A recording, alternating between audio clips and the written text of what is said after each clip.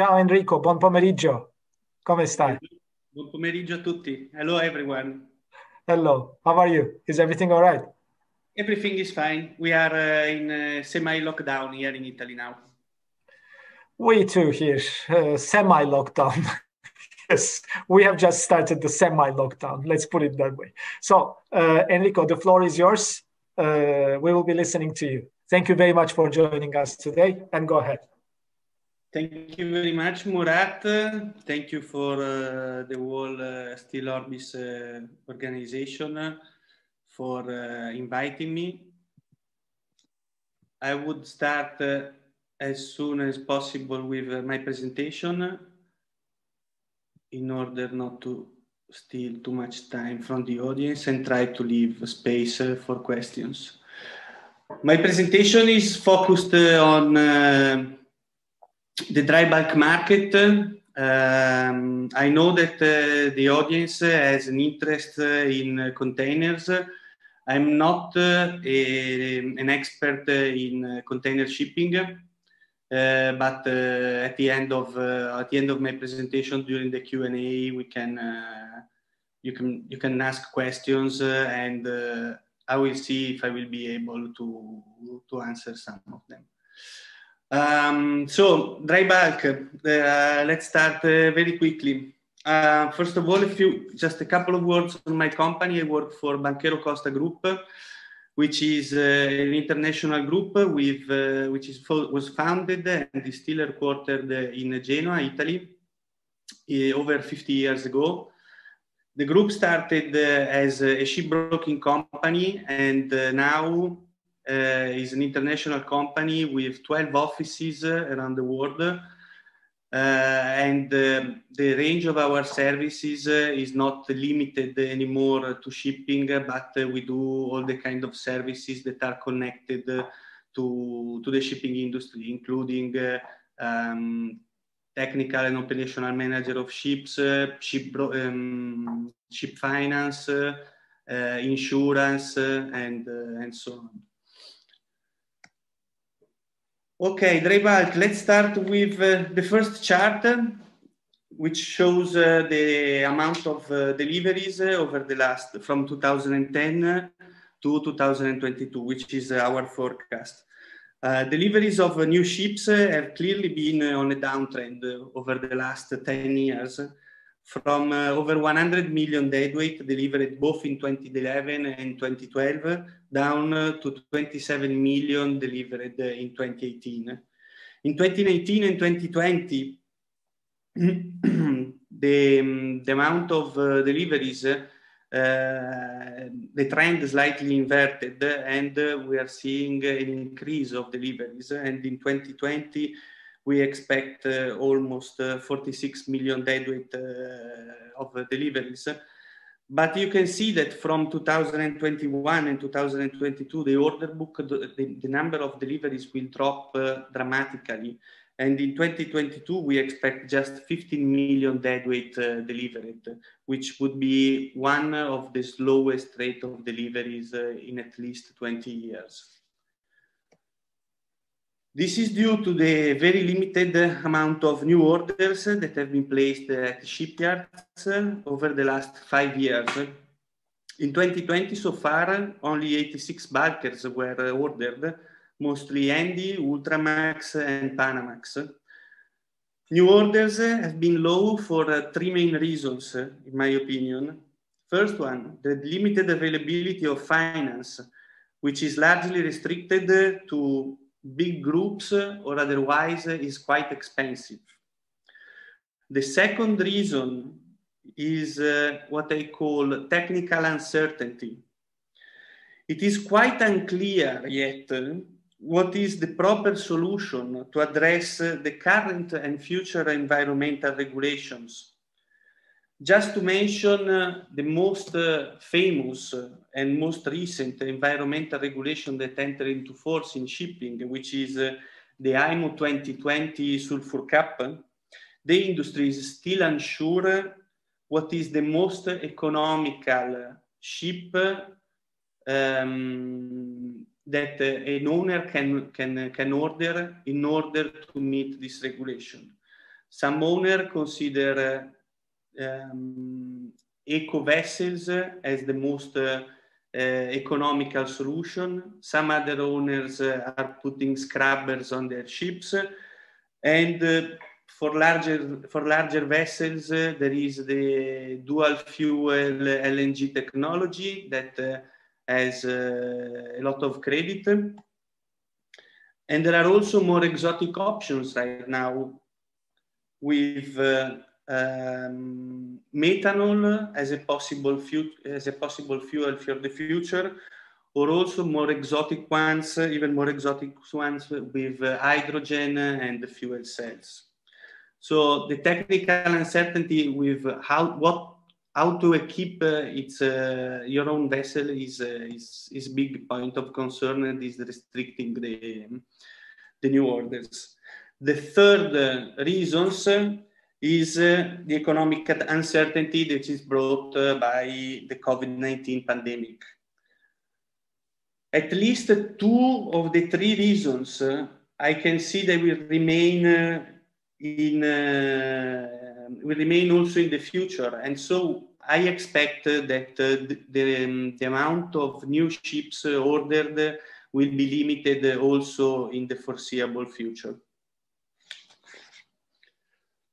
Moreover, demolition, which, is, which has been very limited during the last couple of years, is expected to moderately pick up in 2018, only 41 bulkers were demolished. In 2019, the number increased to 57 units, mostly capes and VLOCs.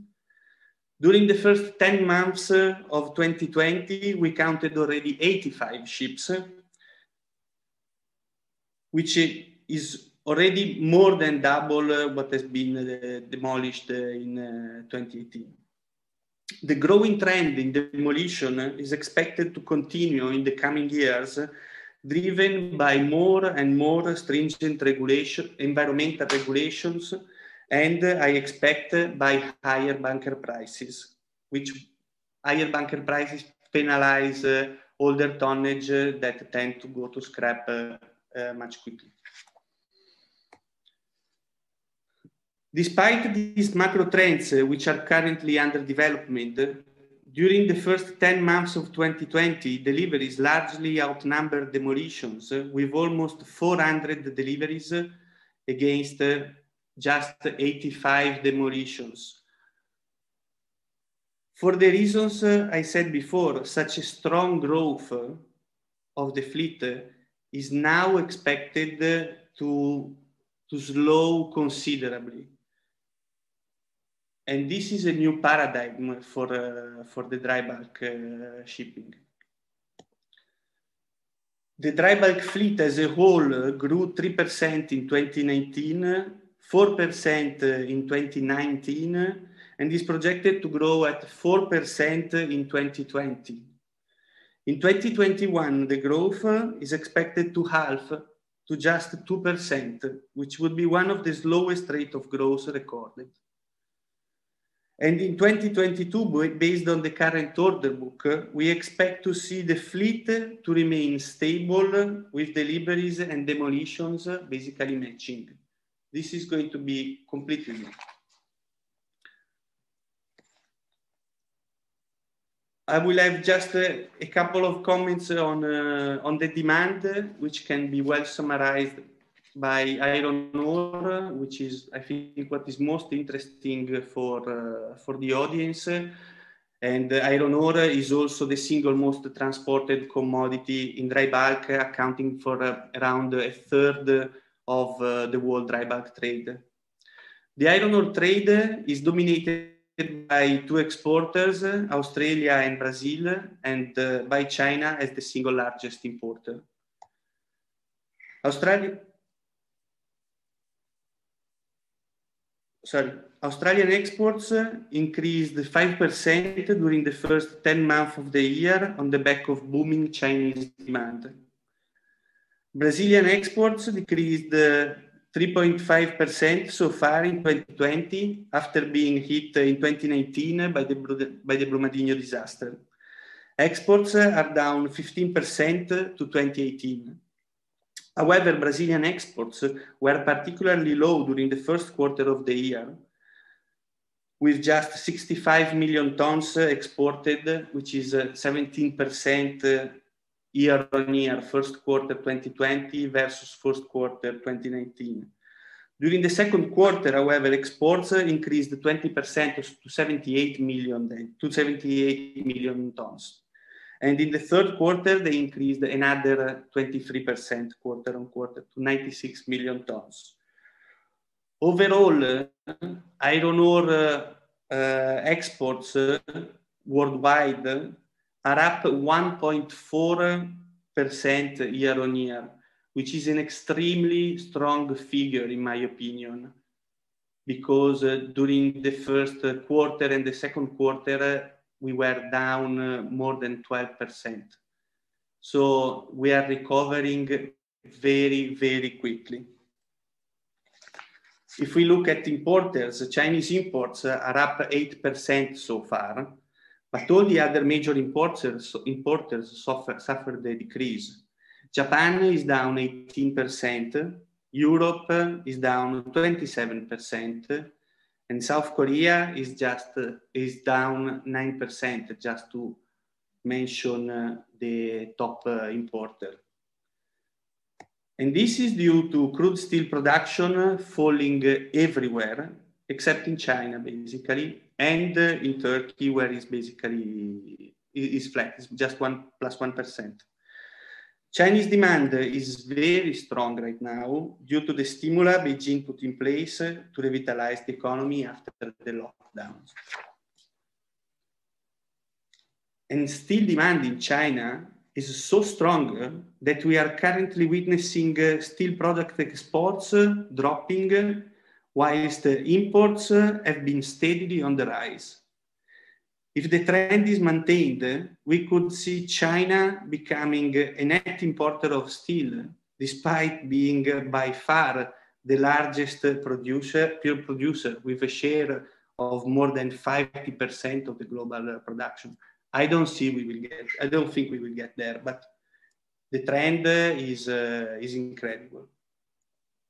Let's now have a look uh, at uh, the development uh, of uh, freight rates and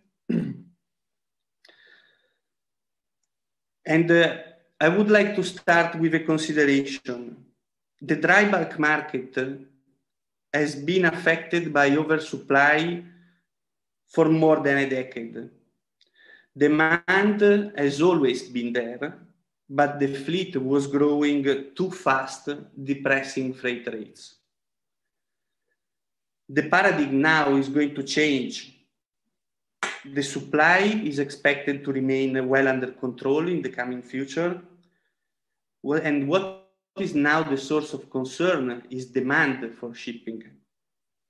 Because we have seen iron ore suffered last year, suffered a big setback with the Brumadinho disaster.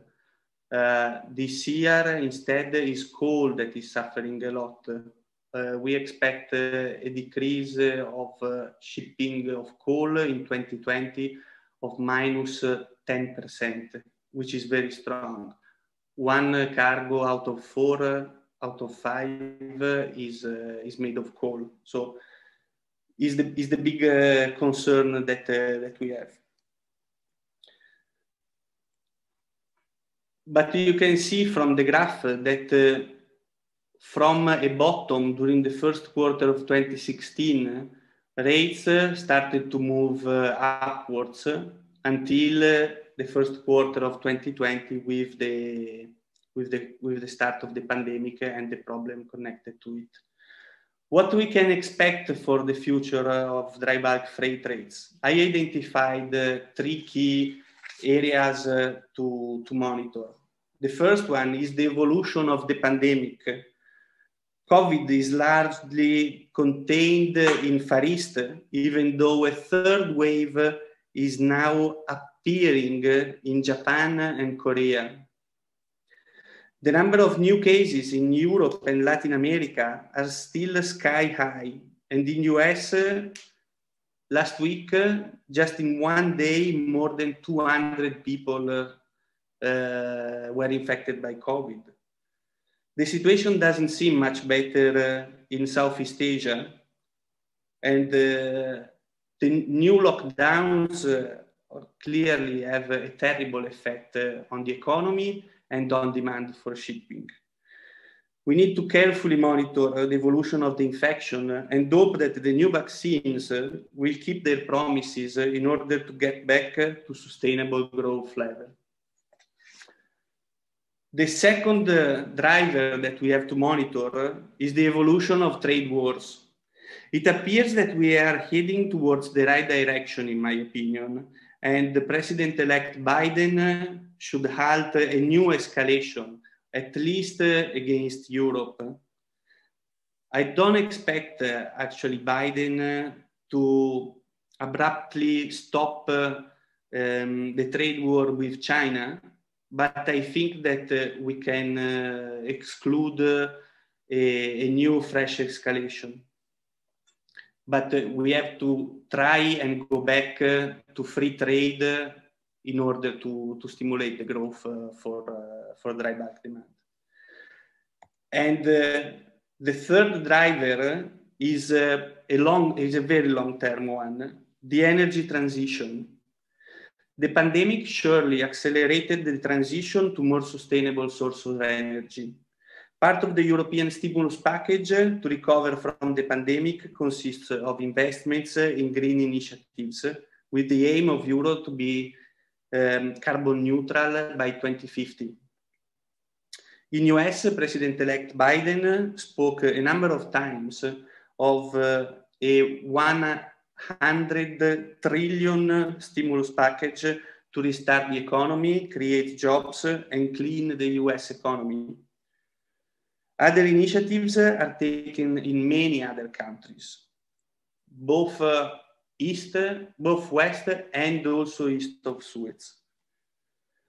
We have clearly witnessed a shock on oil demand during the pandemic with the price of WTI that went briefly negative.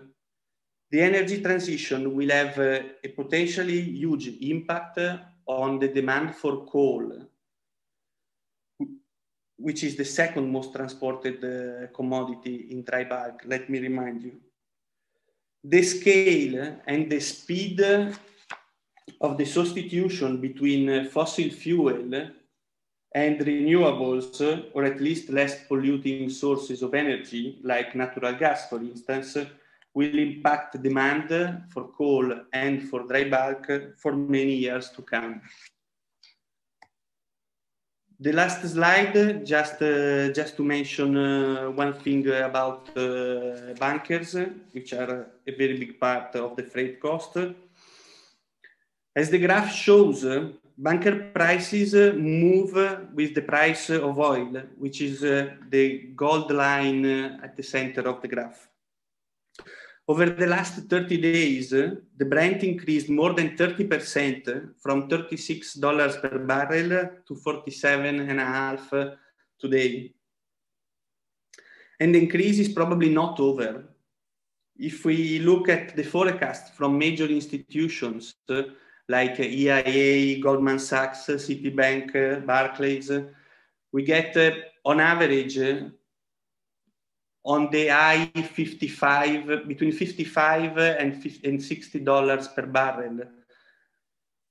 So we can expect uh, the cost of bunkers uh, to increase uh, quite substantially in, uh, in the coming future. And uh, this, of course, uh, will have a reflection on the cost of the transport. I thank you very much, uh, everyone, for uh, for the attention.